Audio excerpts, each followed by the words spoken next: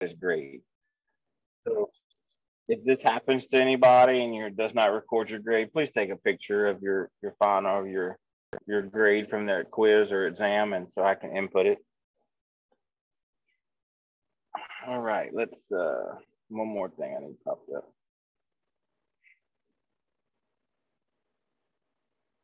All right.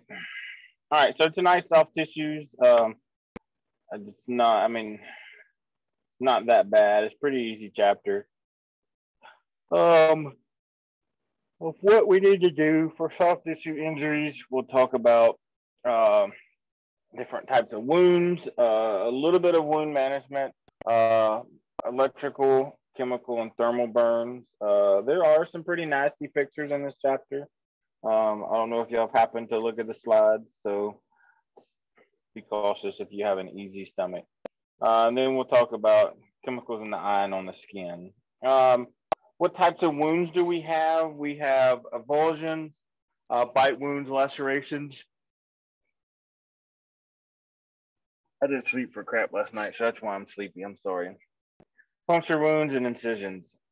Uh, we'll dive off into some of that. We'll go into a little bit deeper in others. So the biggest part of a lead burns, um, you need to know what type of burns, uh, electrical, chemical, thermal, or radiation. Uh, and then you will talk a, a, tad bit about crush syndrome. Uh, it's not a whole lot in here about that. Um, so soft tissue roll, uh, injuries are common. Uh, they can be serious and life-threatening, depend on where they're at throughout the body um, and what type of what organs are affected. Uh, don't become distracted just by the dramatic open wounds. I mean, if it looks bad, like you're going to see a couple pictures in here in a little bit, don't let it pause you from what needs to be done. Uh, I mean, there's times in my career that I'm like, oh my God, what is that? I you you want me to do something with that? I, well, and then I've had to catch myself and kind of get back into things and uh, go from there. But it's it's better off if you don't allow it to distract you. It's it's a little bit safer. I say that, but we always have those instances uh, soft tissues of the body can be injured through blunt injury. We talked about that penetrating barotrauma and burns. Um, soft tissue, some of the wound. Uh, wound care is one of the most frequent performed procedures in emergency departments throughout the United States. Most of these injuries require basic interventions. It's simple, easy, uh, doesn't require any type of surgery or going uh, to the back to hypobaric chambers or anything like that. Uh, I'm sorry, guys and gals. Um, so infection can be life threatening to a limb. Uh, uh, can can be life threatening or limb threatening. Sorry, especially in children, older adults, and people who with diabetes and other conditions that may compromise the immune syndrome. So if they already have these issues, and the same thing is if they already have an underlying issue and something of a soft tissue injury affects it, it could it, it could delay the healing process. Diabetics have troubles healing already. Um, soft tissue injuries and their complications can often be prevented by using simple protective actions. Um, example, offshore is one of the things that they preach, preach, preach safety. Uh, the current company that I'm assigned to, they are very, very on you about being safe. Don't rush things. If it takes an extra day because it wasn't safe, then it takes an extra day. They don't really fuss about it. They don't say a whole lot. They just want, in the end, everybody to be safe. Job get done, and everybody goes home. And they preach that all the way from the the VP uh, all the way down to our OIM. They preach that very adamant about just not rushing. They want you to be safe. Uh, the skin is the first uh, line of defense um, is the largest organ of the body. Yeah, that's probably going to be a test question. It is relatively tough. You know, depends on where you want to talk about about what's tough, where it's at. You know, your feet are tough because you walk on it pretty all the time. You know, it's on shoes. It's a hard impact area, and injuries may expose blood vessels, nerves, and other bones. Um, those aren't normally temp- typically to see injuries. Uh, that's why once they do get exposed, they do have some more issues. Uh, your blood vessels are protected by the skin. Uh, nerve endings stop in certain areas so they don't have any type of exposures. But at the same time, is it can cause issues um, when they have exposures. So that may be something that uh, you see later on as we go through here about uh, you know nerve damage and why it's that way. Uh, in all instances, the EMTs must control the bleeding, which know that's an ABC. We want to fix that initially. Uh, prevent further contamination to decrease the risk of infection.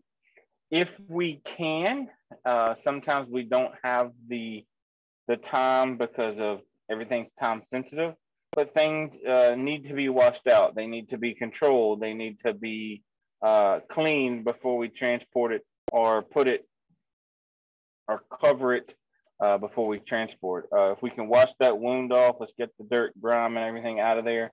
Uh, let's try to help protect the uh, infection area, but at the same time is life over limb. If we need to go, we'll, we'll go and we'll address that later. Apply dressing and bandages to various parts of the body. Sometimes it's just not as simple as taking that Kerlix uh, and wrapping it around the body because it's just not working.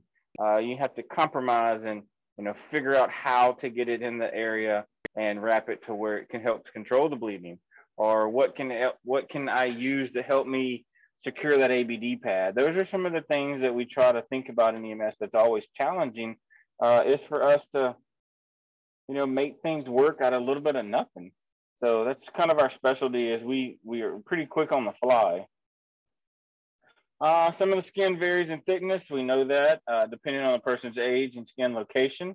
Um, and elderlies have more uh, frail skin. You know, they'll get the skin tears. The, they bleed really bad. They look really nasty. But and realistically, what it is is that top layer of skin has so much elasticity in it that it tears or peels off. It's kind of like taking a cheese grater in the top layer of the cheese block.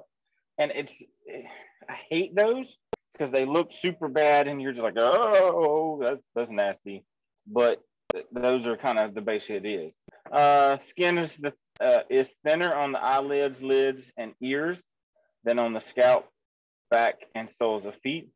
Uh, it's kind of tougher. We know that those are thicker, so we should, you know, there's going to be harder to tear. It's not saying that it won't, but at all, but it will, it is harder.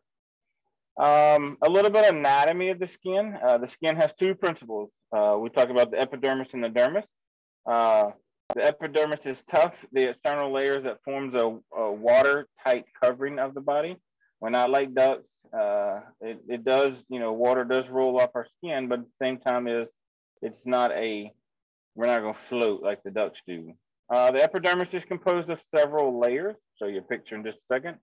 The derma is the inner layer of the skin. It contains hair follicles, sweat glands, and uh, subcutaneous gland. Uh, blood vessels in the dermis provide skin without uh, nutrients and oxygen. Here's a pretty cool picture. Talks about where the hair follicle starts, where your fascia and your muscle starts, and it works its way up to subcutaneous fat um, and they build through there. So it's the same time that at least everybody has pulled out a hair that, that the root was connected to. And you can see that it has like a blood vessel that kept it alive. Uh, and the process of like, uh, sometimes you may have a nerve really close to it that tingles. You're like, ooh, what was that? Um, if you see it broken down there. Um, uh, and here, this is where your pores are, sweat glands. That's how you sweat. A lot of times, this is where you will get uh, the facial acne, fills up your pore. Um, kind of push it up and kind of harvest down here in the sweat gland. Just a little tidbit there. Um, skin covers all the external surface of the body. There's not one part that's not covered by skin that's on the external surface. So that's why it's part of the, it is the largest organ of the body. Uh, the various openings in the body are lined with mucous membranes uh, some mucous membranes provide a protective barrier against bacterial invasion. Um, somebody tell me an area that when you and I said that, where was the first place you were thinking about that has that mucous membrane on your body that you can tell us?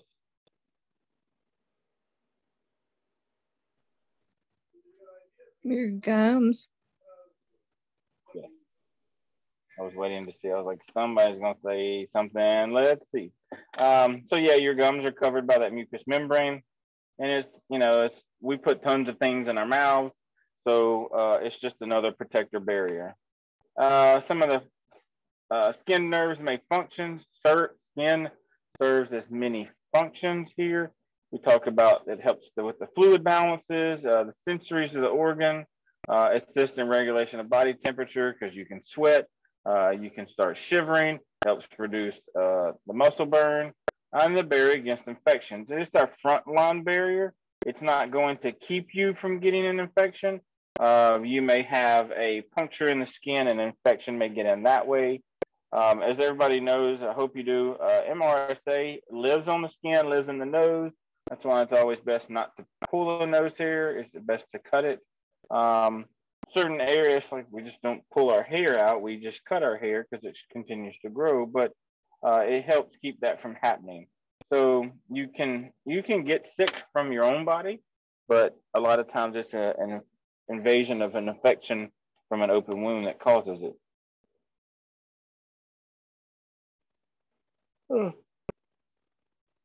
I'm sorry, it'll stop in a minute.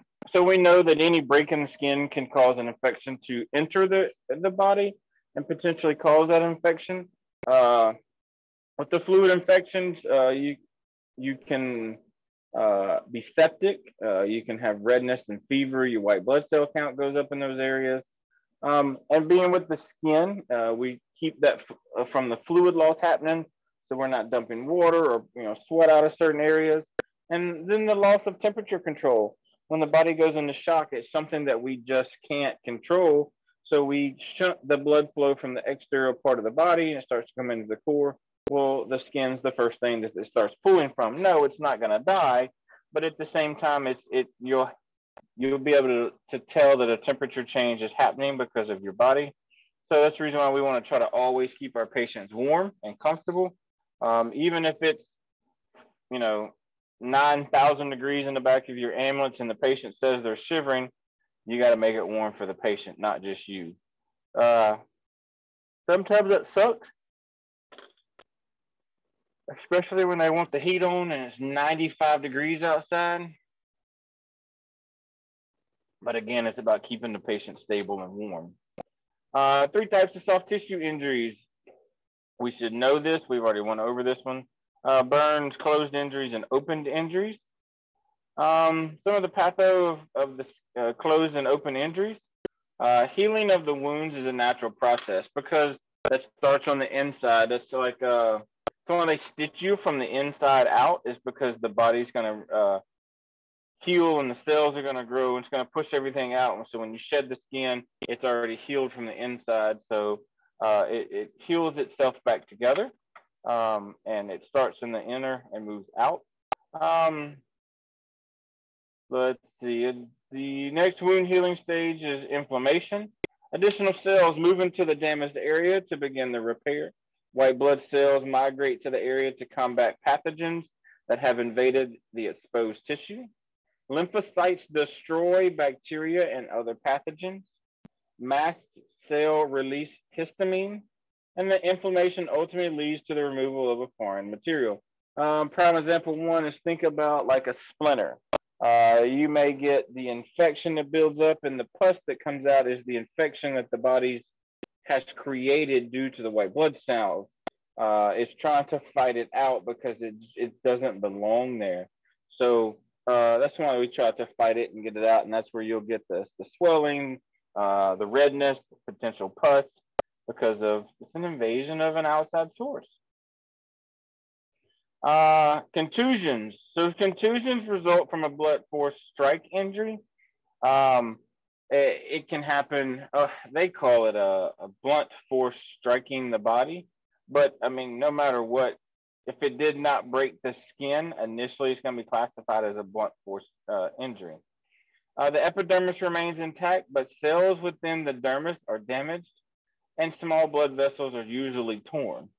Uh, the buildup of blood pro- buildup of blood produces a characteristic blue or black discoloration called ecchymosis. So that's where you get your external bruising from or your internal bruising that you can see from the outside.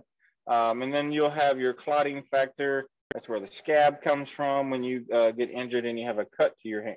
Matter of fact, I my cuticles are always the worst. They always bleed and make this horrible thing as soon as I come out here. Um, let's see, uh, a collection of blood when damaged tissue or the uh, in the body cavity occurs when a large blood vessel is damaged and bleeds rapidly, and usually associated with the extensive tissue damage. Uh, crush injury is the extent of the damage depending on how much force is applied, how long the force is applied, and this continued compression of the soft tissue will cut off circulation producing further tissue destruction. So that's basically what we're doing. We're creating a Cushing syndrome, a crushing injury with a tourniquet. So if I apply this because of a massive cut, yes, it's an open injury. You're probably going to have a hematoma at some point through there.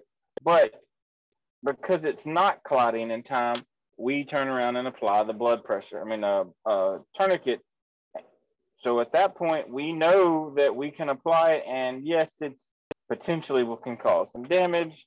Um, I hope we've all, you know, had that. Some things happen where you you get cut sometimes, and then it, you have the black and blue area, and it's a pretty bad cut. Probably should have gone and got stitches, but it's real sore. takes time to heal. Well, that's part of the cells regenerating, and that's what they're trying to grow back. So when applying the tourniquet, sometimes that's it's going to take that much longer, and you're probably going to have to go to surgery. Um, it takes a lot longer uh, for cell, cell, cell regrowth uh, once application of a tourniquet, if if it does if it does happen at all. Um, when the area of a body is trapped for longer than four hours and the arterial blood flow is compromised, crush syndrome can develop. When a patient's tissues are crushed beyond repair, muscle cells die and release a harmful substance in and around the tissues. It becomes necrotic, and necrotic uh, basically eats the muscles uh, and it, it, it'll die. Um, harmful substances are released into the body circulation uh, after the limb is freed and the blood is returned. Um, advanced life support providers should administer IV fluids before the crushing object is lifted Probably, I mean, field surgeons are requested a lot at that time, or field doctors that can kind of take over. Uh, feeling the body part for entrapment, freeing the body part from entrapment can also create a potential for a cardiac arrest due to renal failure because it's a dump of all that. The hormone, I mean, uh, what I just say, it's the, what they just call it a harmful substance. So it's the toxins that are released in the body once that uh, crushing syndrome is, is freed. So you can create a because uh, it goes through the heart to get cleared. Got to get uh, the fluid and the blood and all that's got to get clean. So once it gets into the heart, it can trigger respiratory, I mean cardiac arrest. Uh, consider requesting ALS assistance for situations for prolonged entrapment to uh, prolonged entrapment from extrication. So that is something we have to be careful about. Uh, and I mean, like I've told y'all a couple of times before, I've had doctors fly out. Um, we've done in the field uh, amputations. Uh, it's I remember being on one that they did an amputation. We still couldn't get the leg out because of where it was. And four hours after we were able to move the vehicles and all that, and finally cut the leg free, and we had to transport that to the hospital. That was that was pretty bad. Ooh, I still remember it. All right, compartment syndrome develops when edema and swelling results in increased pressure with a closed soft tissue compartment. Uh, pressure increases with the compartment, uh, which refers and uh, which and interferes with the circulation. Ah. Delivery of nutrients and oxygen is impaired, and by products of normal meta metabolism accumulate. Uh, there is pain, especially on a passive movement. Uh, the longer the situation persists, the greater the chance for uh, tissue death. Uh, and then continuously reassess skin color, temp, and pulse distal to the injury site for crushing uh, if suspected. And severe closed injuries can damage the internal organs because what's happening is all this buildup of fluid uh, buildup of toxins is all created right inside and it's got nowhere to go. It would be better if it was an open injury and then it could leak out, uh, ooze out, flow out, squirt out, because it's now it's being contained in our body and it's got to get filtered and cleaned through our heart. It's it's very it's potentially fatal as we've already just talked about, but at the same time as if it just had somewhere to go or you were able to lance it uh, at the hospital and all that was to leak out, the better outcome you could take. But not all places can have that happen. You can't just stick a drain in because you're trying to get that out. You still have to worry about the the the flow, the pressures, the you know the input, the output of the heart. Those are some big big things you got to worry about. Oh, let's see here. Open injuries. There's four types. We talked about uh, a brace. You, I guarantee you, 90% of y'all have probably had at least two of these.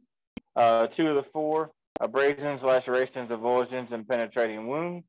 Uh, throughout this next few slideshows, you have a weak stomach, I highly suggest be very cautious. Um, you may want to close your screen for a little bit and just listen.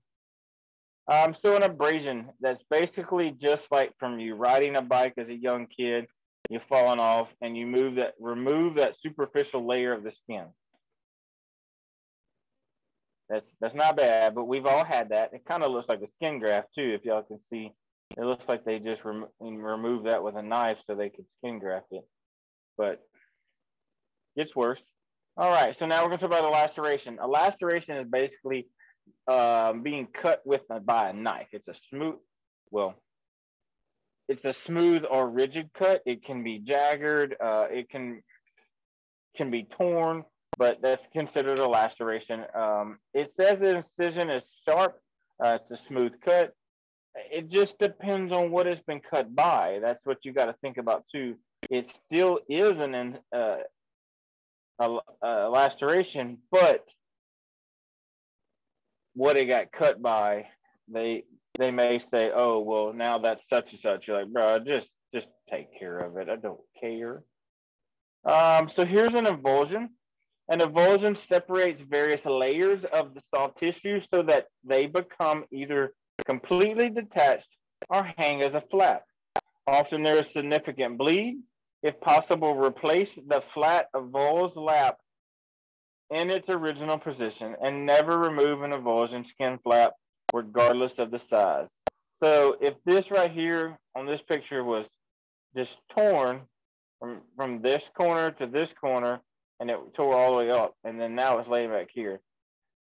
That don't don't cut that off. Leave that skin there. Um, don't be like, oh, well, we just cut it. No, because it's not your job. That's I don't. I wish I knew where that. That kind of looks like a knee, but don't don't cut no skin. And even if it's on yourself, don't don't cut no skin. It's okay. Uh, we did go over an amputation uh, as an injury was the body parts completely severed.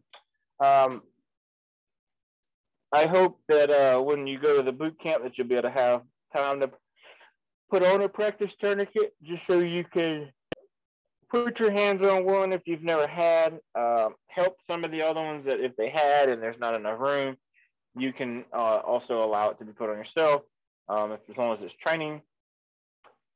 Um, they usually, penetrating wounds usually uh, are relatively small in entrance uh, because it it's so if it's like a knife or a bullet, um, they're going to be a small entrance, but they can do produce very little external bleeding depending upon how it was put into the body.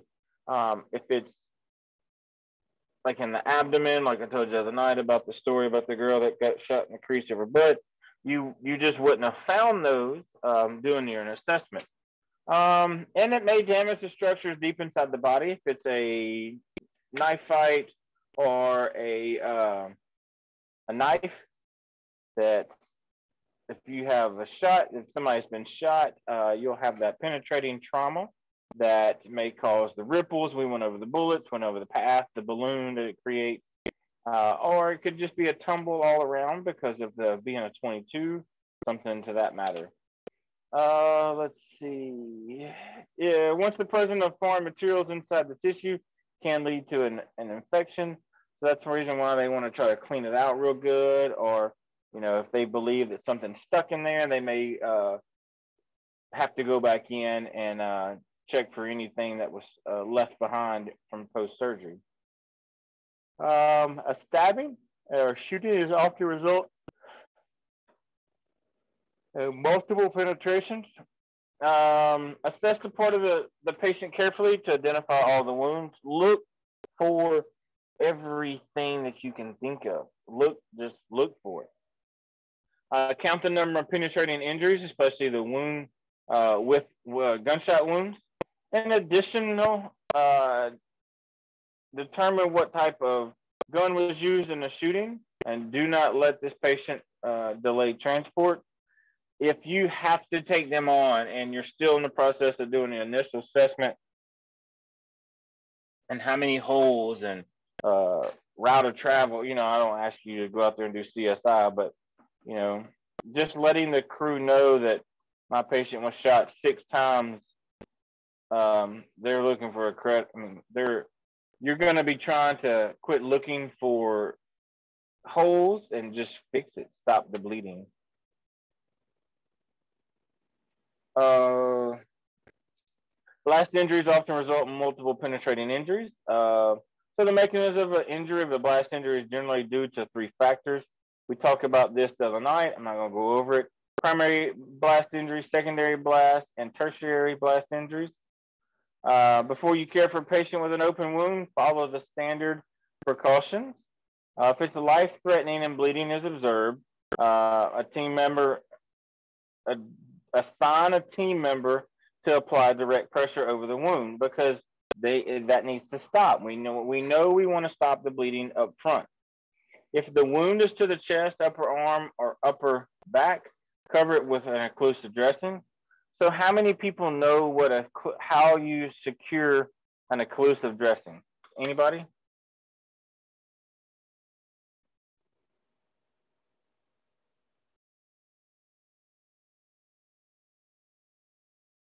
Yeah, so quiet.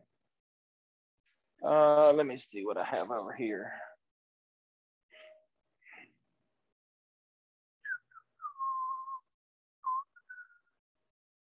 Oh, not chest seals are not there. Um, so here's what we're gonna do. So we also have chest seals uh, that are designed that have uh, a, an, it's it's made for a chest seal, so it lets the air out with a one-way valve. But if this is what I'm gonna apply as an occlusive dressing, I want to apply it to the chest I want to tape it on three sides. I don't leave the bottom open. Why does somebody think I want to leave the bottom open versus the top? So it can drain.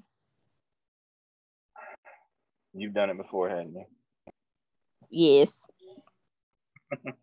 Good deal. And that's why it's because so if we tape the top, it's going to pool potentially if we have blood that's in there. But it's going to be harder to get something to blow up and get the, uh, the plastic or the potential tinfoil, whatever you're tie taping down to get some little air in there. So you want do you want to tape it on uh, the, the, the left top and right side, leave the bottom open. So if there is air, air can come out, can't go back in. And if blood does come out of it, we can also, uh, the blood can drop down.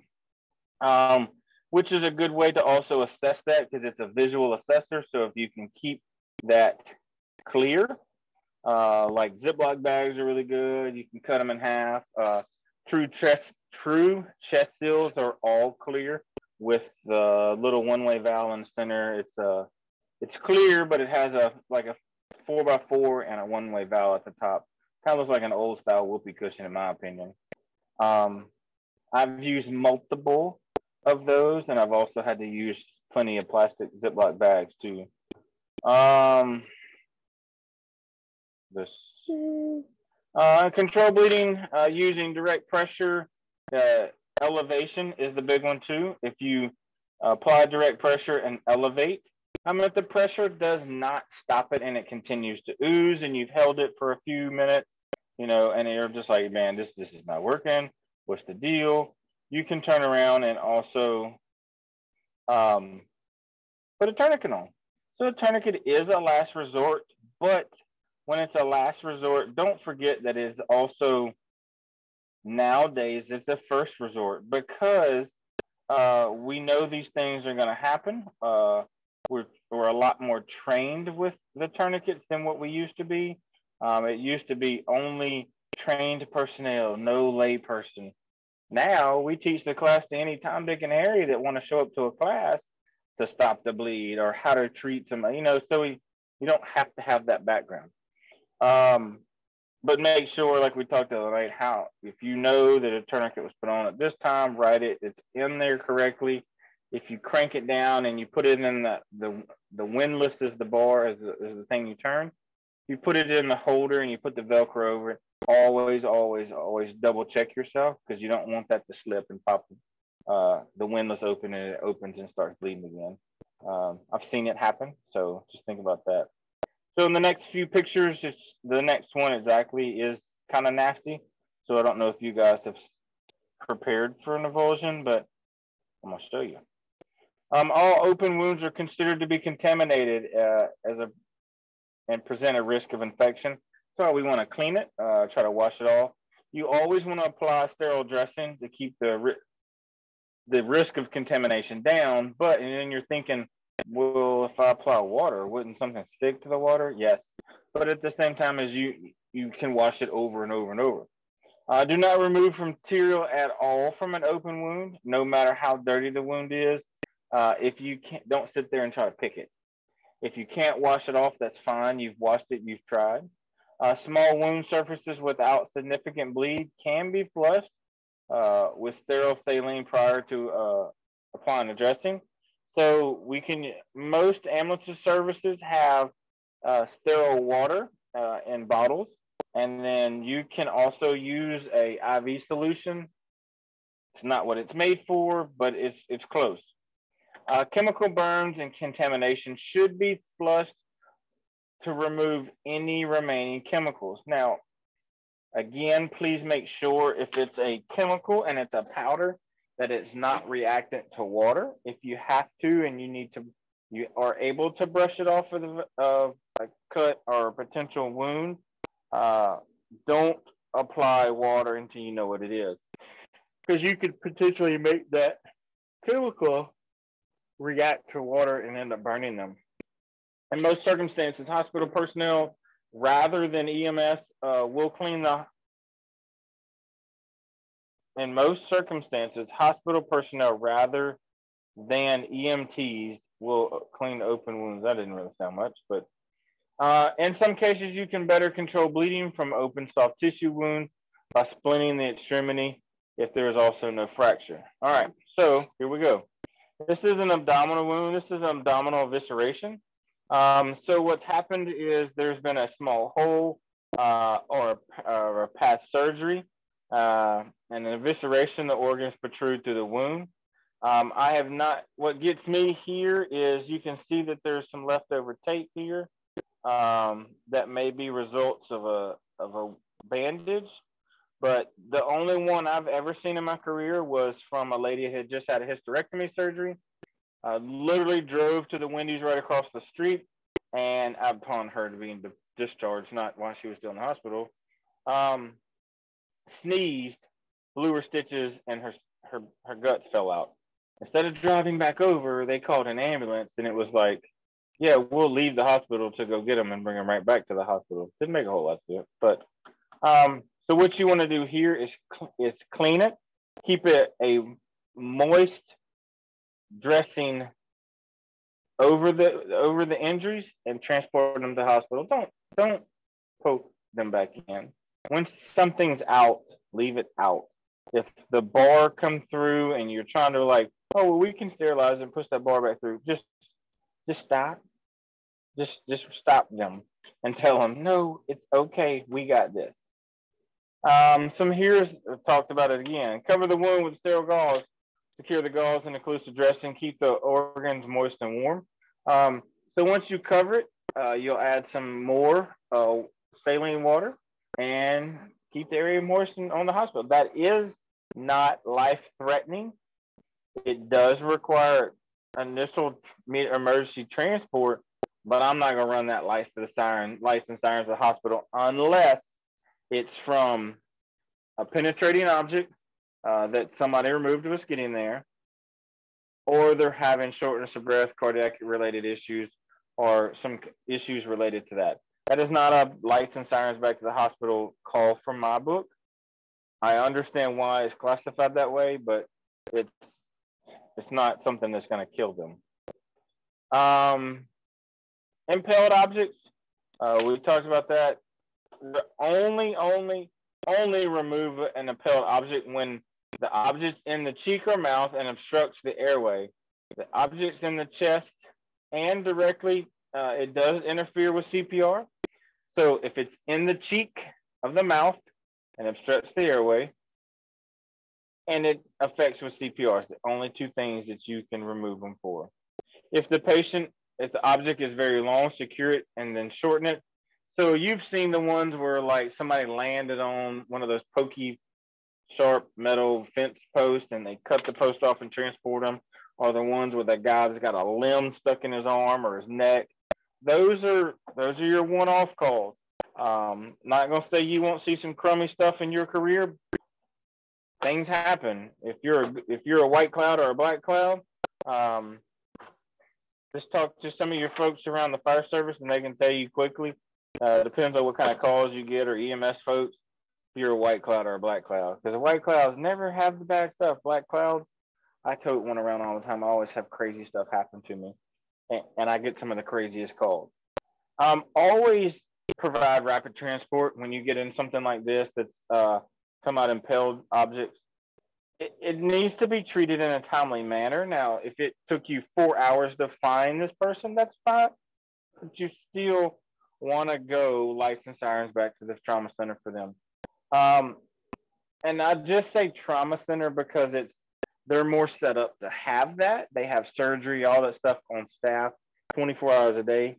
So if it's something that regulates or requires them to have surgery, they can have it done right there on site. They don't have to worry about it. Uh, let's see, neck injuries. The biggest thing I want you to know about neck injuries, if it's to the throat area or to the side of the neck. Obviously, if you feel that they've had uh, neck injuries from a car wreck, that's completely separate. Uh, always put them in a C collar. Um, if enough air sucked into the blood vessels, it can block the flow of uh, blood into the lungs and cause cardiac arrest. That's what we think about when we talk about an air embolism. Uh, this could impair the circulation to the brain and cause to have a stroke. Use caution with patients who suffer from a neck injury, depending on the most uh, on the MOI and immobilize the cervical spine if indicated. Um, so you got to put them in a C collar because you're just like, ah, I don't know what to do. It's I don't know if I should leave it off or not. Just go ahead and put it on. It's fine. The hospital can take that off. They're gonna shoot an X-ray anyway. So I can say for the service that I work for part time is if the complaint if the patient has a complaint of, of back pain or neck pain, you C collar them. If they don't have one, you don't C collar them, and you don't use backboards. Um, it is getting more and more and more common that you don't use backboards at all in EMS. You only use them uh, when you have uh, cervical spine issues or you're complaining of back pain. So it may be something that you just put that person right down on the stretcher and let them ride to the facility uh, because they are causing more and more damage later down the road. So small animal bites, any type of animal bite. Uh, I don't know if y'all know this, but um, Mississippi, the animal has to be secured for 24 hours to make sure it doesn't have rabies. They'll draw blood, they'll send it off. They bill you if it's your dog. Um, and they must hold them for 48 hours. And I think we have to go to court in Mississippi, even if it's like, man, it's just Fred, it's his dog, it's my next door. And if the police find out, they they have to go the whole nine yards. Um, it's animal bites are are gross. Uh, if we talk about smaller animals, let's say like a raccoon or um, even turtles and all that, they they have bacteria that grows in their mouth. I know cats and all that that want to talk about like they're clean and dogs' mouths. I'm talking about your wild animals. Um, a lot of times the bacteria is growing so fast in their body that you don't want that in yours either. So you'll notice like if you get bit at all, and I'm not just talking about a fish bite, but uh, if you're listening, you get you really need to go get that checked out, period, because the animal bites should be evaluated, should be flushed out, and you're probably gonna be put on some antibiotics anyway. So if you get cold, you're gonna want to go ahead and just treat that as a infected wound.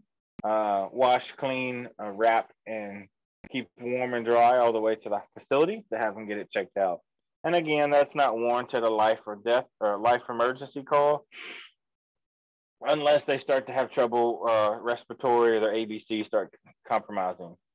Um, let's see, a major concern in the spread of rabies, which we know that's an issue there. Um, if an animal bites you and they think that it's rabies, the only way to test for that is uh, I'm sure that I'm just going to be made sure I can be told otherwise. But if so, please tell me that you, they the animal has to be just I say destroyed is the best way to do it. Rebecca, is that I don't know if that's the right term, but they have to be killed uh, and they have to test in the brain to make sure that they have rabies. Am I correct on that? So, so yes, they have to be decapitated and it's sent off to test the brain. And to kind of spin off on that, I was actually pregnant with my last child and we had a cat come in with a litter of kittens and a skunk came and attacked the mama and she was defending her babies. And of course the skunk had rabies. And yeah so that was a sad situation all the way around. Hmm. well i've had a pet skunk. They're amazing pets. Um, can't really tell that you have them. They're against the law in our state to have them. Some states allow you to have them, but that was one of the best best inside pets that I've ever had. A litter box train. They're fun to even play with. You have the the stinker removed, obviously, but he was up on his shots. I mean, he had everything. He was cool, uh, super cool. Lovey, man, he loved to love on you. But he would bite you and play around, and he wasn't like you know, ferocious bite because that's not he was we had him since he was like two days old. So uh kind of cool. Off to the next topic. Oh go. Um, so human bites are just as nasty, and uh, just as nasty. Come on, who am I talking to? just as nasty. You do want to. Uh, it's con- it, consider it also to be uh, an infection because the, the human mouth holds an arrayment of bacteria.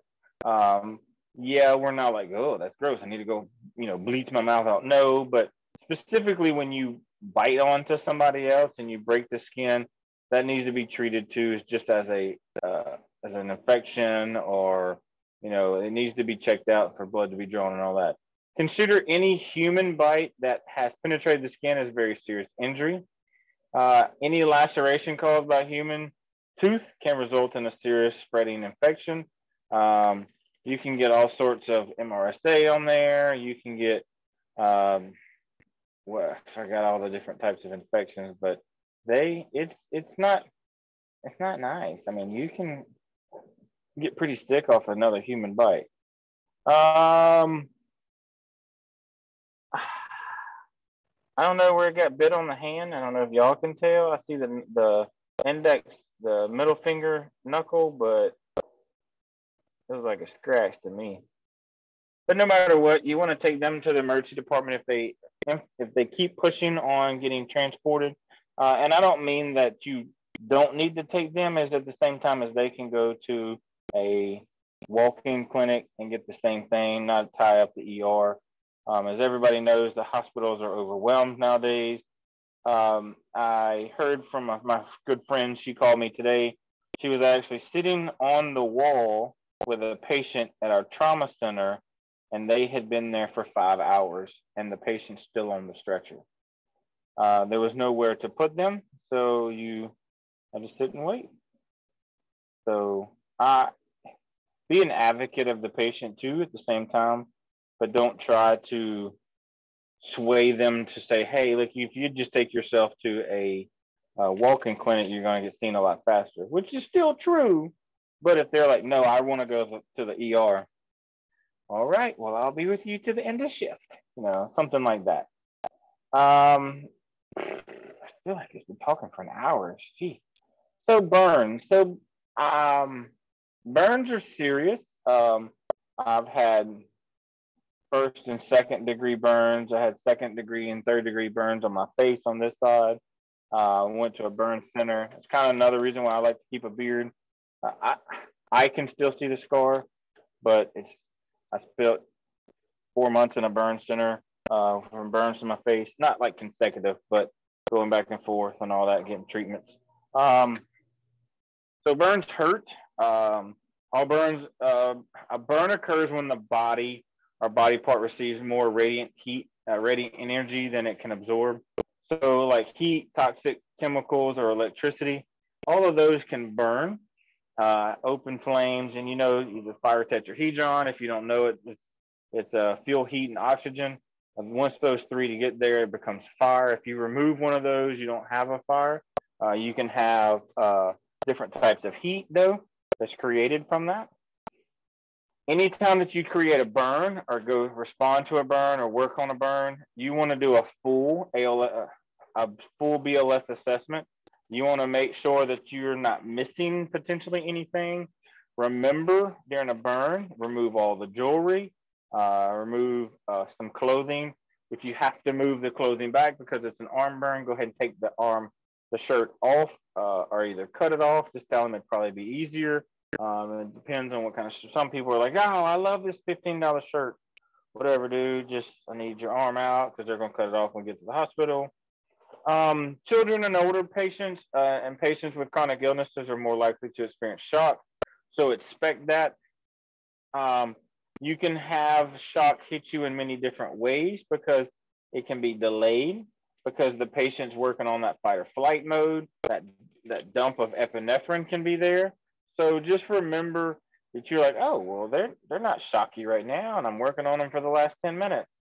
Well, on your way to the facility, at some point, they may drop into shock, and you're like, um, I don't know what to do.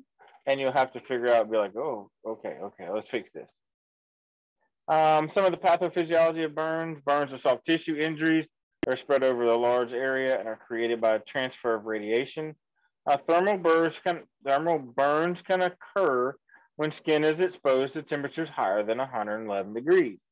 That's that's pretty warm. Um, I know that you think you'll you'll hear of the thermal burns also, uh, like from hot showers or children just held down in a hot bath. They'll get the skin burn. Um, so that's the reason why we try to say, you know, hot water heaters need to be set at a certain temperature uh, I forgot what that's supposed to be. It's like what 104 something like that. It's the highest your hot water heater should go.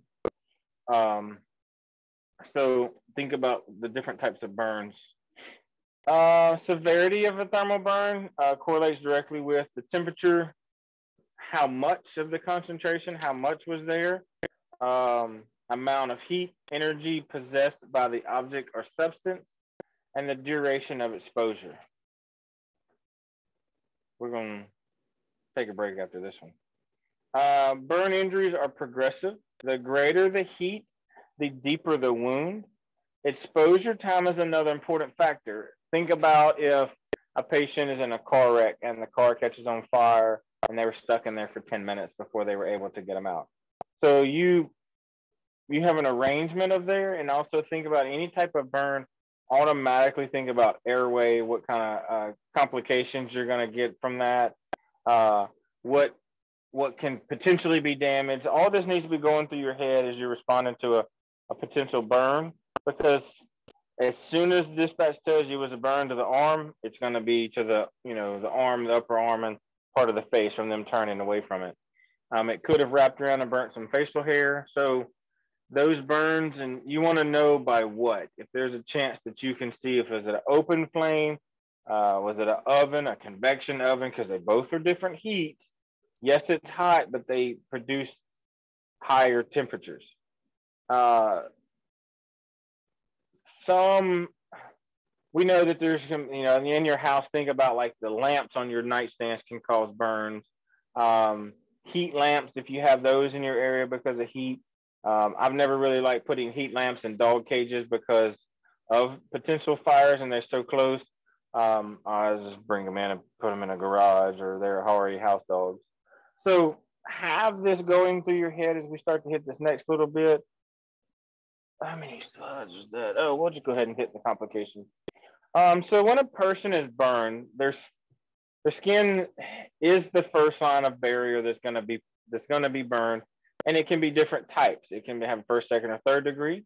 But when a person is burned, the barrier is destroyed. So know that it that's that's gone. Uh, it can potentially be ro- ro- regrowth or grow on its own, or can put from a burned skin graft. Uh, but you're gonna have an infection, hypothermia, hypovolemia, and shock. Those are the four things that you're gonna go through the process on the severity of burn. If it's a severe burn, four things you're gonna deal with. Uh, you may not see them initially. Uh, the hypothermia will probably sit in real quick because now they're not able to regulate temperature because that massive induction of heat, the body's nerves are going, oh God, I don't know what to do, I don't know what to do. Oh, we got to figure this out. And then it starts. And then they just, boom, they go into a hypothermia stage. Uh, let's see, burns to the airway is probably the most important because you can, you'll lose that mucus uh, in the uh, so the swelling starts to happen, and then you can get that complete airway obstruction. So if you know that there was a burn to the chest, or let's say the person was stuck in a car wreck, or uh, you're on a racetrack, automatically think of respiratory burns um, because they're breathing in that heat. Um, if that's something you're going to and you're not already on an ALS truck, you need to get a paramedic there uh, very rapidly because you're going to need to intubate that patient pretty quickly or be ready to intubate at a moment's notice when that patient stops breathing. Uh, because when they do, because of the burn or the full obstruction, you so like when I start an IV, I can I can stick you multiple times up until you're just like, hey, bro, I'm, I'm done. But on intubation, when you go to start that intubation on somebody, um, you only get probably two chances because now the airway is already starting to swell, and then you're creating more trauma to the airway by trying to put um, something in their airway. Uh, because now the airway is going to recognize something's I've been burned. Now you're poking me with uh, a foreign object so what am I going to do? I'm going to go automatically start swelling. Will that be the case? You're going to have to be careful about the airway. The circum, uh, circumferential burns are going to create things and they're going to stop breathing on you. And the next thing you got to do is you got to get an, uh, an ALS airway, uh, like a tracheostomy put in. Uh, circumferential burns to the chest, obviously, it's going to try to, if you, you know, like if you burn something, it takes, if you cook a hamburger, you make it in this fat, but after you cook it is this fat. So it's the same thing. It's going to be burning that from the chest. So now when you go to do CPR, it's like trying to do it on this counter. It's going to be very hard. Um, also, burns to the extremity can lead to part compartment syndrome, resulting in the neurovascular uh, compromise uh, and is a reverse damage uh, if not appropriately treated. And always suspect further complications and get a paramedic or a helicopter there pretty fast because you're going to need it. They're going to crash soon and you're going to be like, oh, Jesus, I don't know what to do. Thank you very much. Um, those get pretty traumatic after a while. Um, let's take, uh, let's shoot for 705. How about that? See y'all in just a few minutes. I need to go make a quick phone call and we'll come back at 7.05. Where's my cursor?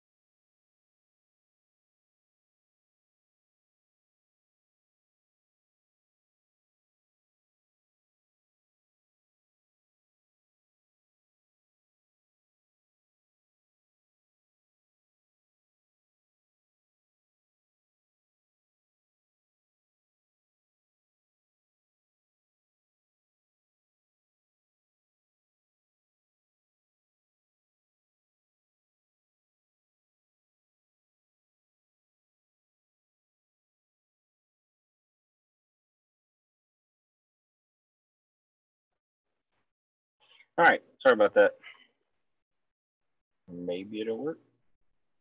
All right, so we talk about burns. We'll get into the point in a minute on how we evaluate the burns and how we calculate them.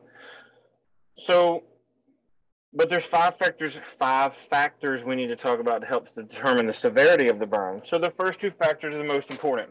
What is the depth of the burn? You need to know how thick it is and what is the extent of the burn. Are any critical areas involved in that? Do we have like the face, the upper airway, the hands, the feet, or the genitalia? Are those five things involved? That's important. Um, does the patient have any pre-existing medical conditions or other injuries that would cause um, secondary is secondary primary secondary assessment issues when we talk about diabetes, uh, lung failure, anything to have to do with that. Is the patient younger than five years of age or older than 55 years old? Burns to the face are particularly important owning uh, to the potential of an air, something's in my way, of an airway involvement. Uh, burns to the hands or feet or just uh, over the joints, like right here, my elbow, that'd be a burn to a joint, are considered serious because of the potential for loss of function as a result of scarring. You know, it depends on who's worried about scarring and how big a severity of the burn. If it leaves a scar and I've been burned and I still have use of it, I'm okay with it. Um, depths of the burn. So let's talk about this. So the so superficial burns is a first degree burn uh, that involves the top layer of the skin only, which is the epidermis. The skin turns red, uh, but does not blister and burns through this top layer. What kind of burn is that? Does somebody want to tell me? Like, hmm, I don't know if I said that right. Give me an example of a first degree burn. There we go. I heard you, but I think I cut you off. Mm-hmm. well, I was gonna say like a sunburn, but sunburns can be more severe even. Correct. It's for a first degree burn. That's a pretty good example for people to keep the idea of. Uh, let's see. Okay. Um. So partial thickness should be second degree burns. Um, so a second degree burn involves the epidermis and some portion of the dermis. So then the layer starts getting the depth of the this depth is getting more involved. These burns do not destroy uh, entire thickness of the skin, nor is the subcutaneous tissue injured. So it just has uh, it has initial trauma done to it. Typically, the skin is moist, molted, and white and red. Uh, blisters are present, so don't ever pop the blisters. Don't ever do that and they can have very intense pain. So, a full thickness or third degree burn that is extended through all layers of the skin and may involve subcutaneous, muscle, bone, or internal organs. Uh, the burned areas is a dry leather and may appear white, dark brown, or even charred, where it has like looks like uh, charcoal. Um, uh, where did I leave off on my notes? Uh, if their nerve endings have been destroyed, a severely burned area may have no feeling. Uh, the surrounding is less severely burned and may have extremely painful. Significant airway burns are serious, which we know because now they're going to uh, go into respiratory arrest and quit breathing on us. And it may be associated with a single hair within the, hold on,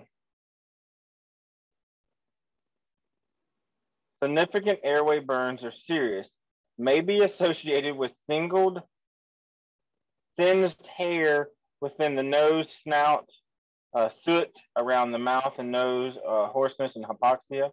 Uh, these patients should rapidly transport to the ED and uh, they're capable for advanced airway. Um, so what we're looking for if somebody's been involved in a uh, house fire um, or fallen into, let's say like a campfire, we look for burns in the nose, uh, around the mouth, uh, and get them to open their airway. If the mouth looks extremely dry, you've probably had an airway burn to it, and you're probably just to start worrying about uh, respiratory failure at this point uh, because it is a it's a pretty quick burn, and you've got to do something fast.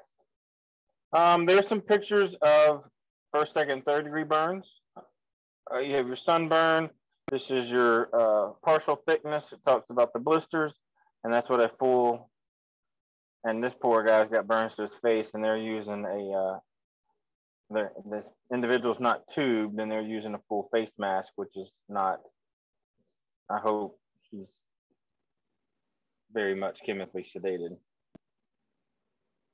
Um, so severity of burn. So the so the rule of palm, which you use your hand, estimates the surface area that has been burned by comparing it to the size of the patient's palm, which is roughly equal to 1% of the patient's total body surface area.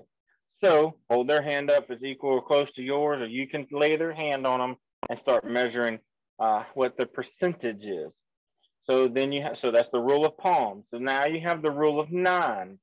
So estimate the extent of a burn by dividing the body into sections, each representing approximately 9% of the total body surface area.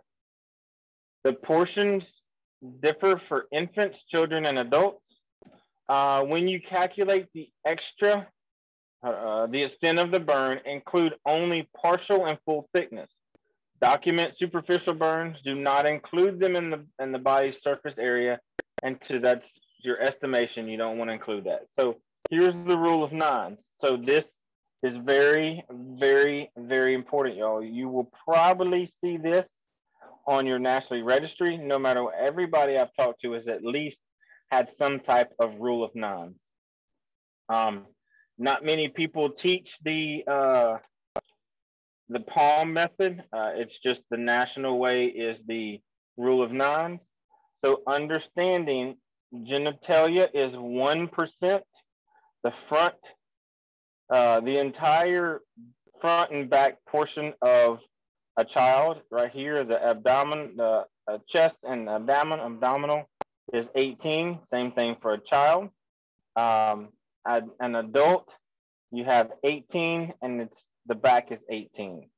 Uh, the, the leg is 18 total, nine and nine and the head's nine. You notice the difference. You have eight, 12, and nine.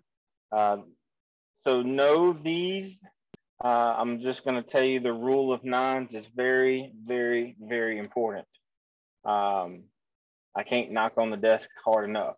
Uh, don't know about your chapter test, but pretty much to guarantee you that you're to see this or a question like it on the rule uh, on your national registry you want to screenshot that, you want to, whatever you want to do, I will leave it there for just a second or two longer so y'all can, uh, you can also go back into your book on 2719. That is that, uh, that diagram is there. I highly suggest, suggest that y'all learn it uh, and memorize it. My suggestion. Oh. When you're assessing a burn, it is important to classify the victim's burns. Now, classifications burns are based upon your uh, source, depth, and severity. I just need to know what if it's from a, a an open flame or is it from a something that's been touched. Uh, you you need to know what type that that is uh, and the depth. Now, you, when I say depth, let's let's we're gonna have to guess that. We're not gonna be able to say, oh no, I know that's exactly eight percent. Well, I mean, it, it may only be a superficial burn. So, um, from knowing the source of the burn can help you calculate that a little bit to give you an idea uh, if it took direct impingement heat, uh, like a blowtorch, that's going to cause you know severe burn.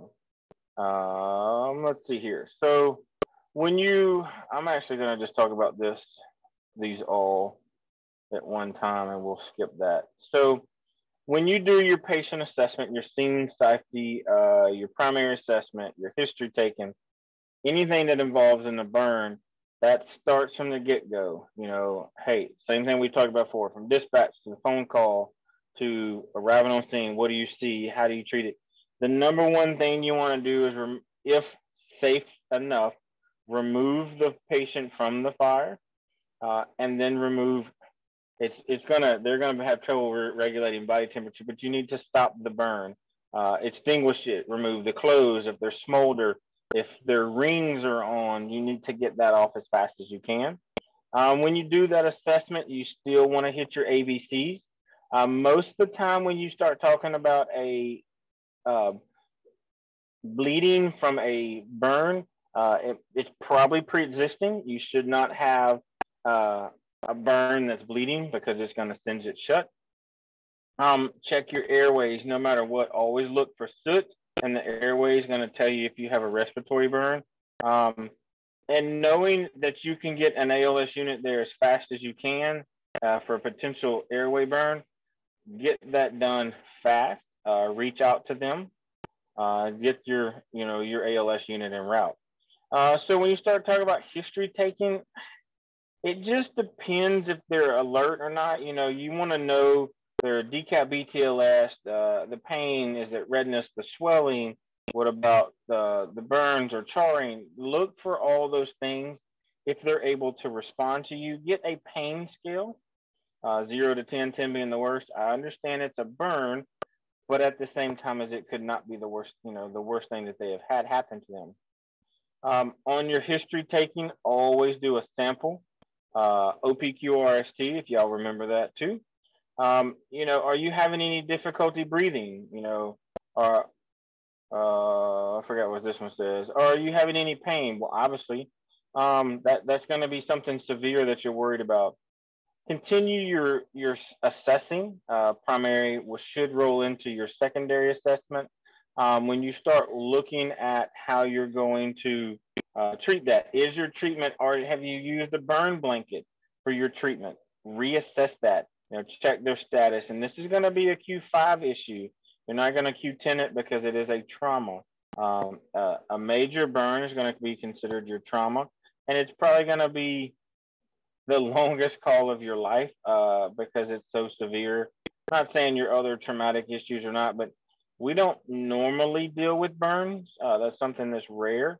Uh, in EMS, I'm not saying it doesn't happen. You could run 10 your first week, but we, if they are, they're very far few between. Okay. Um, do your reassessment, like I was talking about, check those, make sure they're working. Uh, and what, so look right here. So what can we do? The first thing I want you to do is stop the burning process, okay, and prevent any type of additional injury. Um, remember where you remove the patient to, um, or if you, you know, you're out and you don't know and you try to take this patient and you dunk them in, let's say, a pond water to try to stop the burn. Well, you've also probably potentially exposed their skin to uh, some additional um, bacteria that wouldn't have been done. So don't cause any more harm. So that's kind of a big issue there is when you start looking at that, be cautious, remove it, cut the clothing off, um, however you can to stop that, uh prevent uh, any additional injuries. Remember when you take and lay them down, where you lay them, uh, if you lay them in the, the grassy area, remember grass is going to get entangled into that burn. And you, you, you're not going to be able to wash it off because at the same time as you don't, you you induce a cold water, now you're inducing shock to the patient. So be cautious about that. So um, it's one of those you're it's danged if you do and danged if you don't because you're you're trying your best to stop remove the patient from the burn, but or from the burning, and then you're trying to stop the burn, and you're like, ah, I don't know where to put it because I don't want them to get any more injuries. So, you know, it's be cautious, but at the same time, be alert. Um, it says when caring for a patient, follow the steps in uh, page uh, skill deal skill drill 27.2. So that may be something y'all want to look at, uh, so you can get some ideas uh, and just some extra uh, input. I don't have the skill drill on me. It's not in my, I probably could get it out of the book, but uh, obviously I don't have the book out here. So thermal burns. So thermal burns are caused by heat, which we know that. I mean, ultimately, yeah, fire has heat. So it, would it all be classified as a thermal burn? Well, yes, but there's, you know, yes, but no. So a flame burn is very often a deep burn, especially if a person's clothes catches on fire. A scald burn is mostly caused by uh, commonly seen in children uh, and in handicapped adults, but can happen to anybody. Uh, especially while you're cooking. If you're trying to heat that water or boil that water up, uh, you could actually hit that pot, and now that that boiling water is all over you. Um, uh, maybe you accidentally hit that boiling water pot and send it all over your own child. Now you're probably gonna feel like you know warm death after it's over because you just traumatized your child and you sent your child to the hospital and probably DHS probably gonna come visit you, make sure you didn't do it on purpose because I can promise you it's somebody's going to report you or you're gonna talk to somebody at the hospital. I think, yeah. Um, coming in contact with hot objects uh, can uh, produce uh, burns. Contact burns are rarely deep unless the patient is prevented from drawing away. Um, grabbing onto a hot lighter after it's been lit for a hot minute and not knowing. Um, reaching down and grabbing a hot pan. You know, your instinct is to jerk. Now, if you have diabetes and you start to lose the the feeling of certain, you know, parts of your lower body, uh, you're not going to be able to feel if your legs are on fire. So you may not know it until it's too late, or let's say if you're asleep and you you know something catches on fire and in the deer camp and you don't just know that. Uh, I've seen that happen way too many times that uh, people are affected that way and uh, get that infection and diabetes doesn't allow it to heal just right. And they're in a lot worse case than they should have been because they just didn't take care of themselves. That's it's it's sad, but oh so true. Um, steam burns suck. Uh, they are topical. Most of the time, they are very uh, top side of the skin. Uh, they don't, um, what to say, minor steam burns are common when microwaving food covered with a plastic. Um, a flash burn is produced by an explosion, which may briefly expose a poison a person to a very intense heat. Um, think about uh, an industrial setting when you think about that type of burn. Um, lightning strikes can also cause a flash burn. Um, I watched the documentary a couple months ago that a man had been struck by lightning seven times in his life. And I'm like, sir, I don't I don't want to be friends with you. I don't want to know you because you have some bad luck. So uh, people just they're they're open and they they have bad luck. Well, this dude has the bad chi. If he got stuck seven struck seven times by by flame by lightning, Whew, so how do we manage these? Our management is the same thing. So stop the burning, uh, cool the burned area off if, if appropriate. Obviously move the jewelry. We know that's going to happen. You're going to keep that idea that they're going to have uh, an inhalation injury. Um, increased exposure time will uh, increase damage to the patient. How long was this on? How long contact did they have? Were they conscious or unconscious when this thermal burn was taking place? Uh, the larger the burn, more likely the patient will be susceptible to hypothermia and hypovolemia, uh, sugar problem. Uh, uh, all patients with large surface burns should have a dry, sterile dressing applied. Uh, a burn blanket's really good. You can have, um, you, you're gonna have to cover them, but you be cautious in what you cover them with, like a sheet, because it's gonna stick. Uh, think about that when you try to be that good Samaritan and you're like, oh, I can put this. Oh, it's stuck to them now. So that's the one is we don't want you to cause any more harm, but let's think about that. Um, inhalations, our number one issue that we're worried about there is upper, esper, upper respiratory damage. And that's obviously uh, associated with inhalation of the superheated gases. Um, inhalation does occur when burning takes place. Uh, let's say if I'm in a uh, enclosed trailer and something's caught fire. Well, I gotta. It's not venting, so I potentially am breathing in that hot flame until I can get out. Uh, lower airway damage uh, is also because of in, inhaling like chemical burns or particulate matter. That's why in the industrial setting they're very particular about uh, wearing masks, and you should too if you're going to be in an area where there's going to be chemicals or you're mixing or spraying chemicals. Um, on the side, my side business, I run a pressure washing company, and I use uh, some pretty harsh chemicals. I wear I wear a mask when I use that.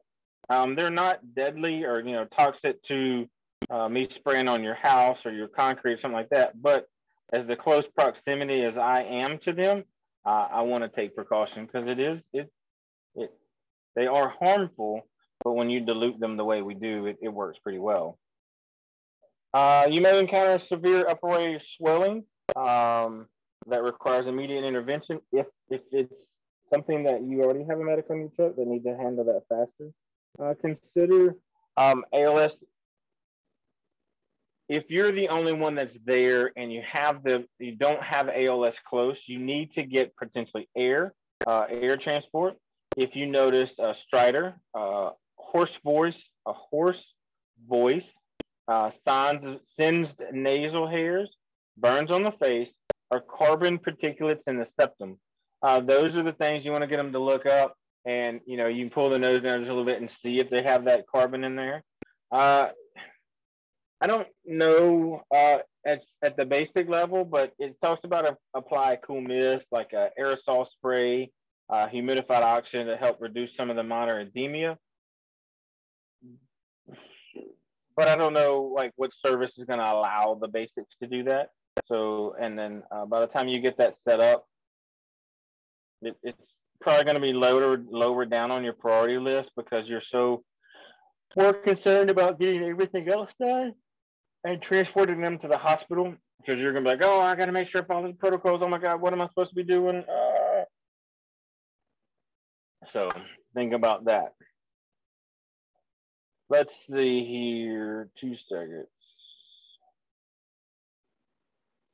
Um, so inhalation burns, carbon monoxide, we know that is the silent killer. Uh, Patients who with severe CO2 poisoning usually have a normal oxygen saturation.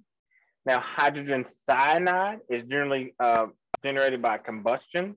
Uh, signs and symptoms involve central nervous, respiratory, and cardiovascular uh, systems.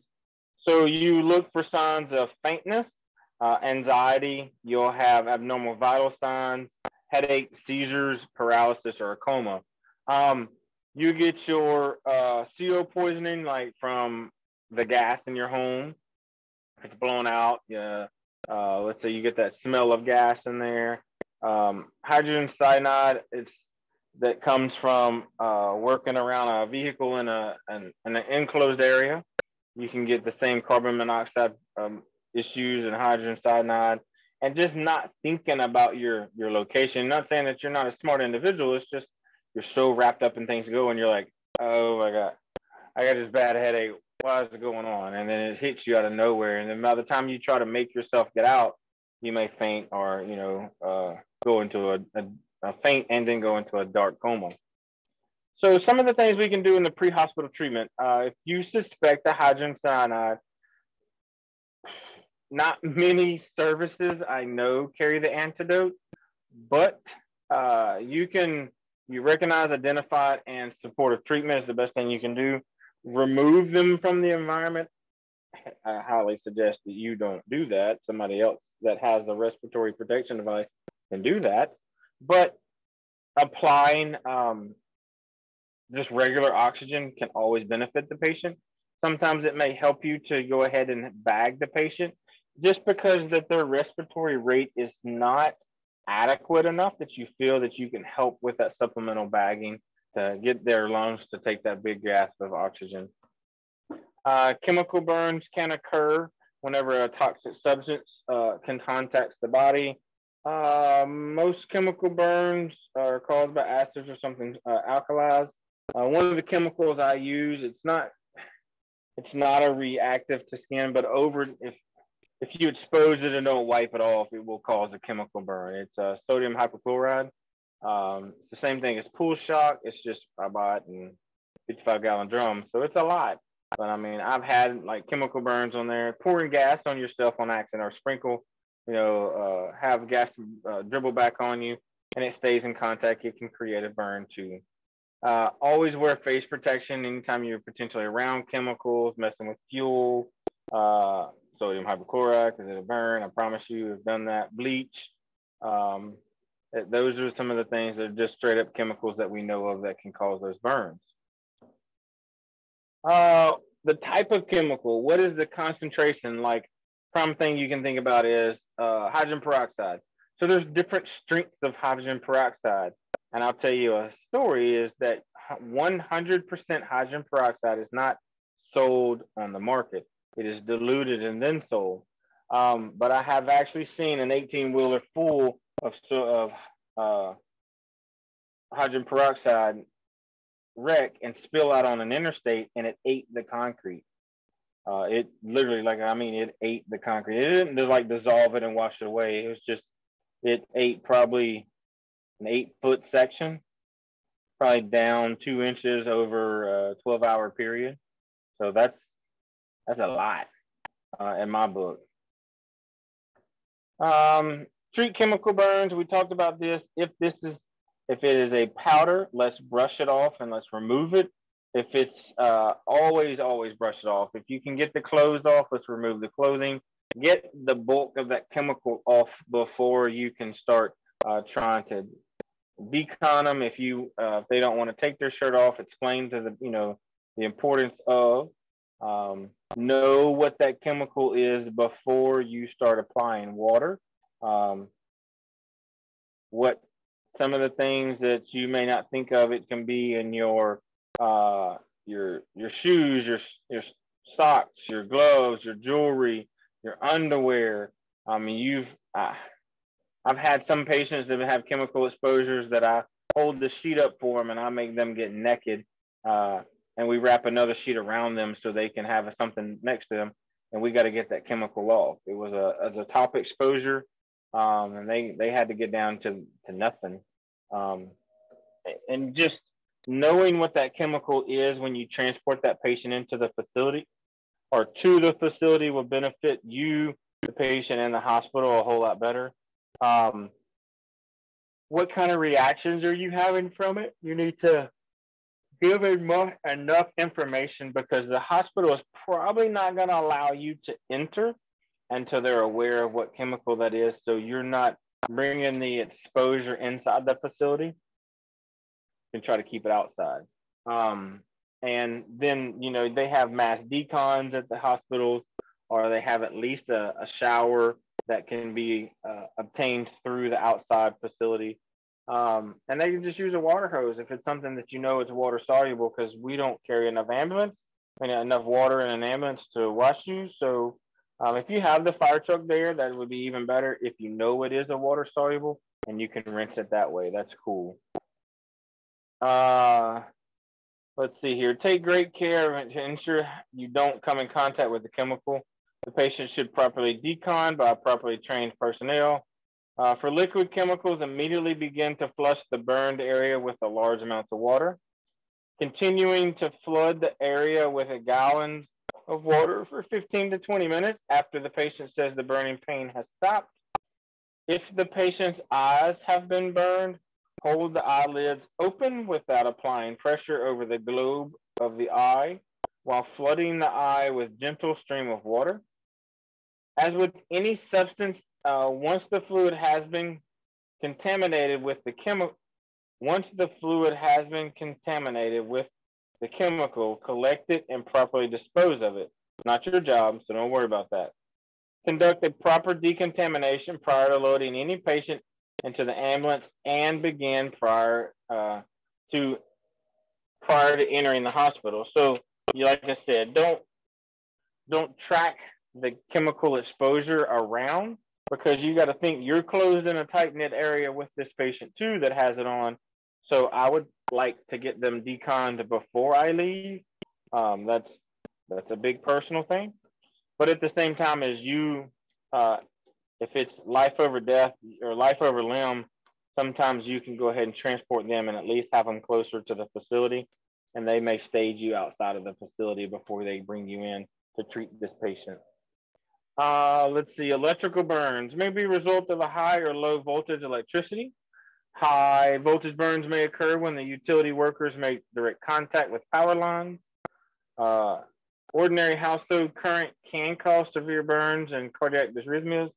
I can promise you, I've been hit by 110 and 220. They suck and they are not fun.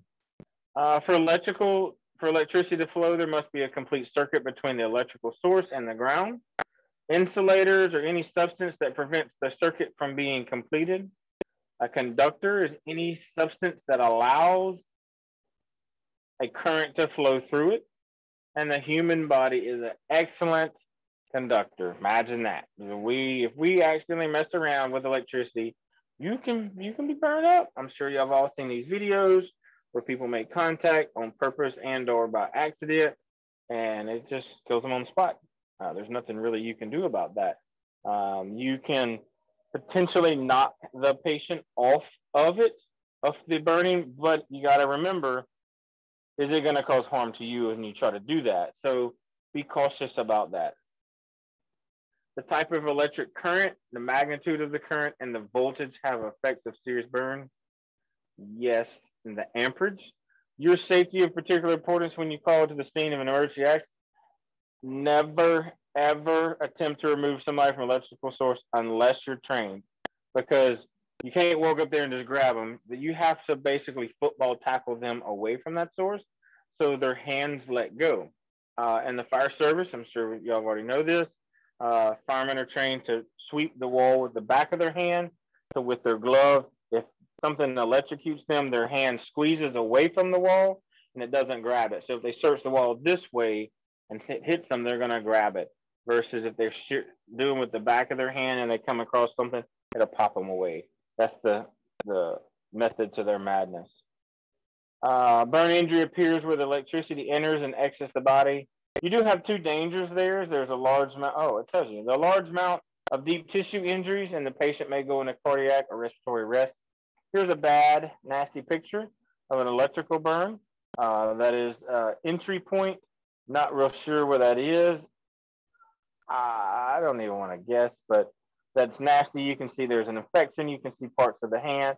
I'm just going to say hand. It's starting to heal already, but uh, to the lower part of the screen, you can see how it's already it's a pretty bad infection. The white stuff is an infection part. Uh, that's just gross. I'm gonna let that change on. The biggest thing that we can do here is one, stop the electricity, uh, stop the electrocution. If we can't, we uh, the bad thing is it's we just have to watch it. Um, is or you don't have to watch it. You can walk away. Um, they're just and most of the time, if it's a high and high enough, it hits them real fast, and they're in cap they're out of it before it literally just burns them to pieces. Um, a lot of times, uh, I've been to one electrocution, and that was uh, a guy on a, uh, he was working for a private electricity company. He didn't have the authority to get up there and throw the, the transformer, but when he pulled it, he he didn't pull it correctly, and when he went to get it again, it popped him and it, he died on the spot. Um, several of our linemen, um, powermen, whatever their proper calls are, I think it's linemen, have died trying to work on power lines um, during the hurricanes and tornadoes. These guys are, man, they amazing, and uh, they just do simple things, and it, it, can cause a tremendous ripple effect that create uh, havoc on families. Um, t- we know we've had taser injuries over the years with uh, law enforcement using this. Um, I'm a very avid fan of tasers. Um, I, I fully believe in them. I think they should be used a lot more than what they are, but same time as you have to be cautious. Um, once those probe make entry into the body, uh, it's just like a fishing hook probe. It goes in and it's got barbs that stick off on uh, three sides of it. Um, it it is like a needle when it pierces. It's a hypodermic needle with barbs that stick on there, so it doesn't allow it to pull out. Um, when you go to pull them out, you got to put your hand over it. Like if the barb's sticking through here, I want to put my hand over it, grab the top, and yank out pretty fast. You just want to hold the skin down so it doesn't try to pull the skin away. Um, it, a lot of times, if people are hit with that and they they fall like it's supposed to, they can cause uh, head trauma uh, if they're hit in certain positions or the right way. But at the same time, it's you you have to you can't judge that as you go to tase somebody like oh sir scoot three inches to the left um, part of it um, sometimes those uh, depending on the age or an unknown cardiac emergency they have been recorded to change the uh, rhythm of a patient, but it's not common for that because they they operate on different joules than what like a AED does.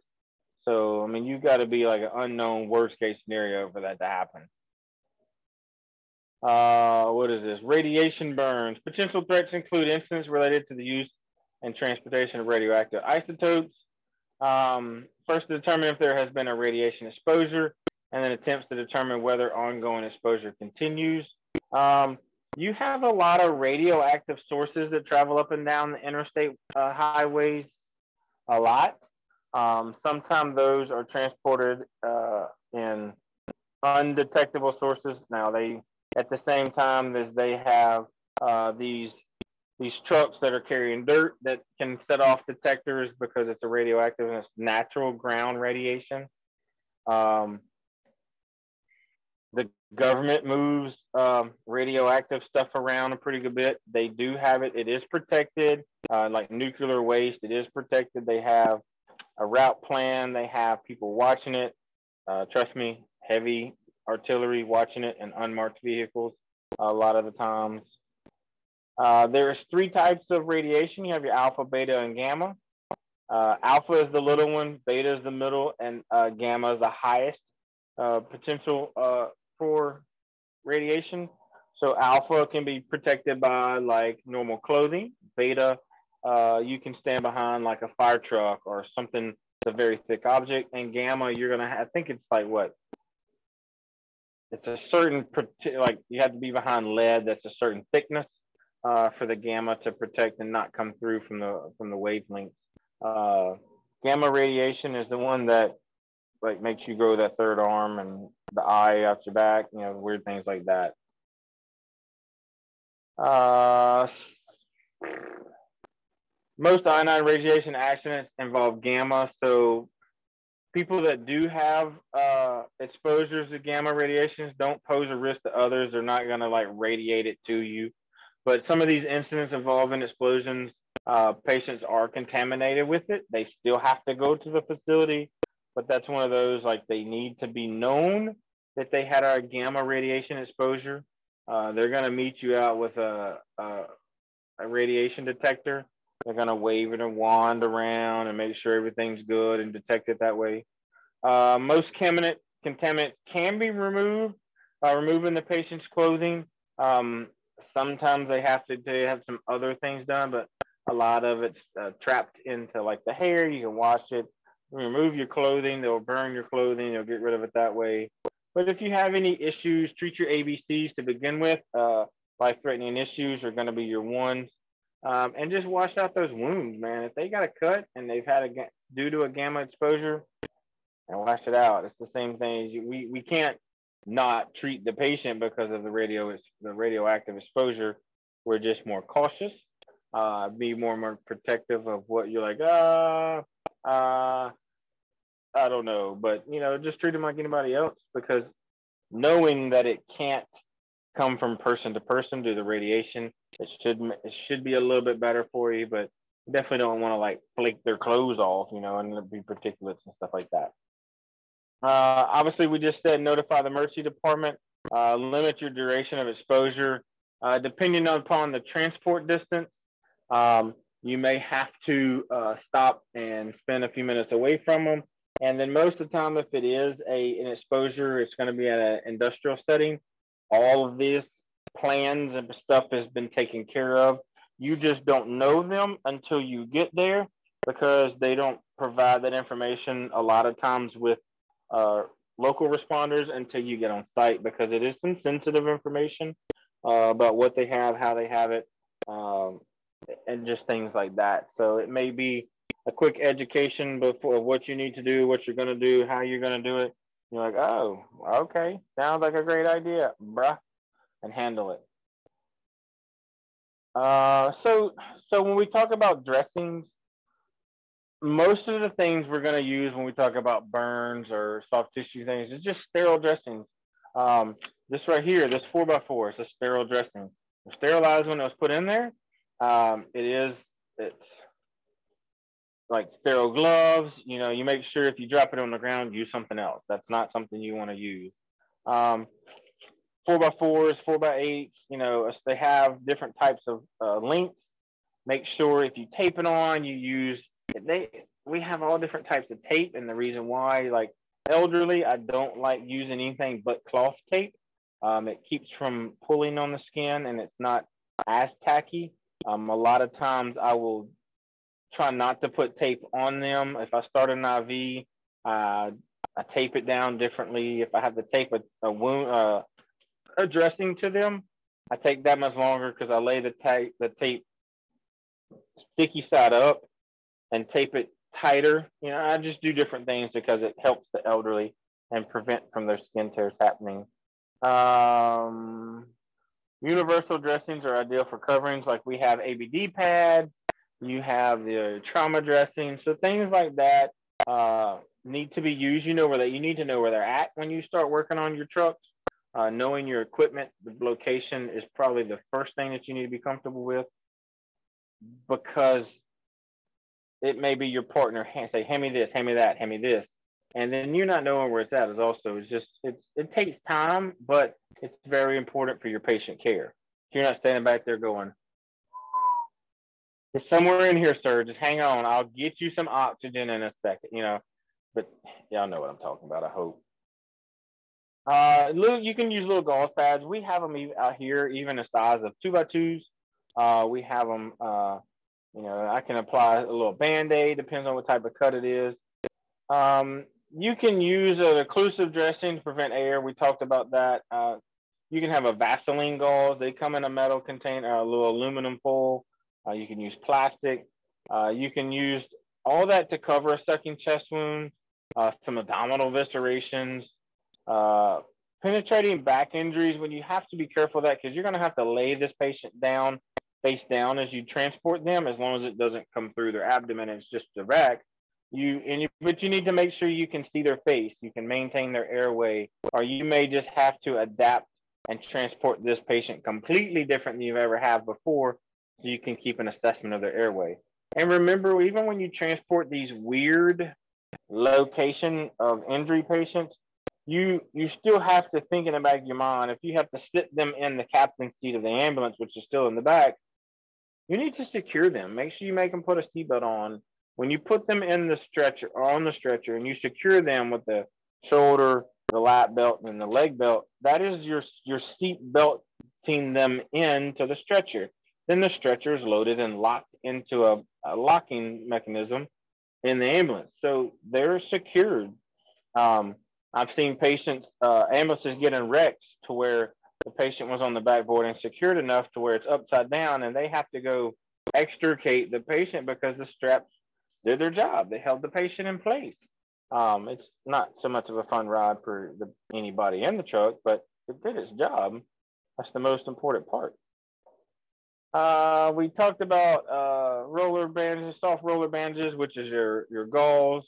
Uh, triangle bandages uh, you can use uh, to splint an arm. I know that'll be going over in your uh, boot camp. Um, talk about different types of bandages, your types. I just talked to Rob about that. And then self-adherent soft roller bandages are easier to use because it's it's so much it takes you don't have to worry about that other hand that you need to do it it's right there everything's made together and it's uh it's just a faster pace of things. Oh we talk about adhesive tapes. Some people are allergic to adhesive tapes. The same thing with um, latex.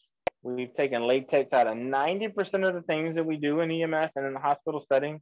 So you don't have to worry about that allergy. Um, I remember when I first got in, I built up an, a latex allergy to my hands um, from wearing gloves so much that now we have everything as nitrile gloves, uh, latex free tape. Um, I'm sitting here looking at uh, nitrile gloves and it says on there no latex.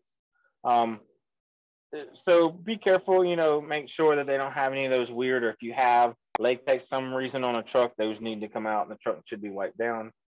Um, don't use elastic bandages to like your ace bandage to hold a, a dressing in place because there's they're very they once you wrap them tight they they kind of start twisting a little bit and they'll lose their uh, elasticity and won't be as tight. So tape is the best thing, um, or a tourniquet if you have to tourniquet in place. I mean, like tourniquet that injury.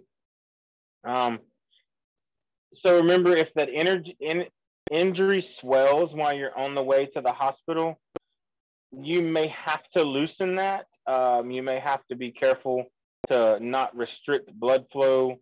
Uh, that's why you want to keep assessments and make sure that it's still in place, everything's going fine and flowing good. Uh, always check the limb for a distal uh, to the bandage so you're not cutting off circulation, you know, unless it's a tourniquet. If you put a bandage on my arm, always reassess it when you're checking it, feel for a pulse. Make sure I still have a distal pulse. If you put it on my leg, make sure I still have a pedal pulse because I want to know that I put the, the bandage on and potentially cause harm. So, or did I accidentally do it too tight, not knowing? Uh, we talked about air splints the other night. I know that air splints are pretty jam. Um, we use SAM splints out here. SAM splints are uh, a big roll of orange, flexible. It's just like uh, it's got some very thin metal on the inside, and they're covered in orange. They come in little bitty, like finger bandages, all the way up. I've seen them 12 inches around, like 12 inches wide, and a roll is probably about yay big. Uh, you can use that for the leg. A lot of wilderness uh, have a bunch of those. Like your snow uh, rescuers have that because they're small. Um, I use them in my personal bags at home and in my truck to to form the like the rigid cavity in the bag. So they sit on mine up around the top to where if I pull it out, my bag's still rigid, but it's it's in there around the frame. It's not rolled up, taking space. Uh, that's something that has because uh, they come in a roll. I mean, one knows about yay big. I mean, you see that's real pretty big.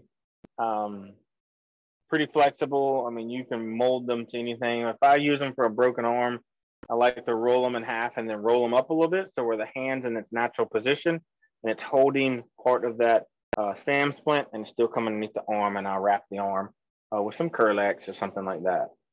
Uh, you guys are lucky this evening. That is the end of the class. Does anybody have any questions, concerns? This was actually a pretty easy chapter. Um, so y'all should pretty be pretty good on your test this evening. Uh, any questions from anybody? I have a question. Talk to me. So, do y'all, well, I say this as do y'all, but as EMTs, are there specific ways like like in veterinary medicine, like we have what's called like Roberts Jones bandage. Um, it's basically mm-hmm. a specific way that you um wrap and certain materials that you use like you have to use like your um rolled cotton then uh rolled gauze then we would use of course vet wrap or Elastikon depending on what it is. Um are there specific ways like that that you wrap? No ma'am. We're not really worried about our patients eating the bandages. Um, so I know more in vet in medicine that they and they'll send them home for a, a, wrap for a couple of days. So we're we're going to wrap it and transport them to a higher level of care. You your patient is brought to your facility and then sent back home. So and then yours tend to eat theirs because they want it all. Um, not saying that some of our patients don't do that, uh, but no, it is not. It's one of those. It's not like, oh, this is the type A way to roll because there's an injury. Just because I can tell you how to wrap one specific injury, you're going to get out there and see something 100% different. Period. No, there's going to be no questions asked. So that being the point is, it's it's okay to, you know, wrap it your way. Uh, your patient you may, when you look at them, you'll be like, oh God, whoever wrapped that did a horrible job. And you can fix it as long as it's not removing the bandage off of uh of a bleed to you know to check it or look at it. Just if it's wrapped and it's not bleeding, just take it the way it is. If it's like when people like have oh he was squirting blood, I've got this shirt wrapped around it. Okay, I'm fine with it, bruh. Let's go to the hospital. You don't want to look? Hell no. You can keep that where it's at. We're good. I don't want to wear blood. I don't want it in my truck. We're good, bro. So to answer that around, I know I kept talking, but no, there it's not. There's not a specific way to wrap an injury. Okay, yeah, that was my main thing. Like, is is there specific no are required to wrap? Good so. question. No, not that I've ever been aware of in twenty some odd years. So, does anybody have any more? Uh, any y'all want to talk about anything outside of this particular class of this uh, lecture? We can talk about whatever. If y'all need to go over something, let's take some time. Uh, we're more than welcome to do whatever you guys would like.